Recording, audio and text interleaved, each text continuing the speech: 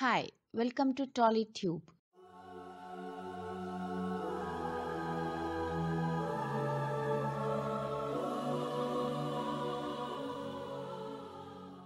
Swathi Chinukulu serial. ఈ serial బుల్లితెర ప్రేక్షకులకి మోస్ట్ సెంటిమెంటల్ సీరియల్. తల్లి కూతుళ్ళ అనురాగం ఆప్యాయత పక్క పగ ప్రతీకారాలు ఇలా రకరకాల పాత్రలు ఎవరికి తగ్గ రేంజ్లో వాళ్ళు పోషిస్తూ ఉంటారు. ఇక ఈ సీరియల్ చూస్తున్న టీవీ ప్రేక్షకులంతా ఓసారి ఎడవటం మరోసారి నవ్వడం మరోసారి తిట్టుకోవడం. ఇలా రకరకాల ఎమోషన్స్ని చూపిస్తూ ఆ పాత్రల్లో దూరిపోయి వాళ్ళ గురించే ఆలోచిస్తూ ఉంటారు.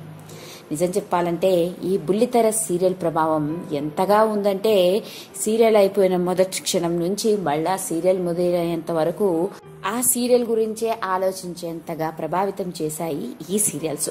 మరి ఈరోజు మనం మాట్లాడుకోబోయేది స్వాతి చినుకులు సీరియల్లో శ్రావణి పాత్ర పోషించిన శివాని గురించి. ఈ శివాని ఎవరో కాదండోయ్ టీవీ సీరియల్స్లో నటించక ముందే చిన్న చిన్న పాత్రలో ఎన్నో సినిమాల్లో కనిపించిందండి. ఇంకొక విశేషం ఏంటి అంటే ఈమె భర్త కూడా డైరెక్టర్ మరియు హీరో కూడా. అవునండి వినటానికే ఆశ్చర్యంగా ఉన్నప్పటికీ ఇది అక్షరాల నిజం.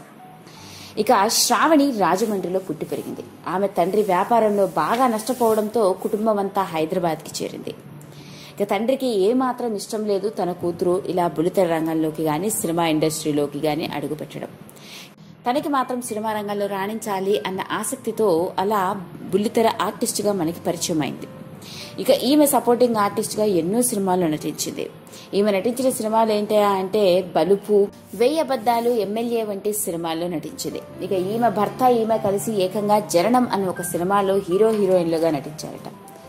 మనకి పరిచయమైన శ్రావణికి పెళ్ళయింది.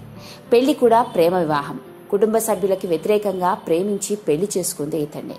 ఇక పెళ్ళి చేసుకున్న కొంతకాలం వీళ్ళిద్దరికీ తమ ఇద్దరు కుటుంబాలతో సంబంధాలు తెగిపోయాయి. ఇలా ఒకరినొకరిని పెళ్ళి చేసుకున్న వీళ్ళు కొంతకాలం దూరంగా బ్రతికారు. కానీ ఒక కూతురు పుట్టేసరికి మళ్ళీ తల్లిదండ్రులందరూ మనవరాలు అనుకుంటూ వెతుక్కుంటూ వెనక్కి వచ్చారు. అలా మనకి బాగా పరిచయం అయిన అదేనండి స్వాతి చినుకుల చీరలోని శ్రావణి వ్యక్తిగత జీవితం. ఇలాంటి మరిన్ని ఎన్నో ఇంట్రెస్టింగ్ విషయాల కోసం సబ్స్క్రైబ్ బటన్తో పాటు పక్కనే ఉన్న గంట సింబల్ని నొక్కండి. Thank you.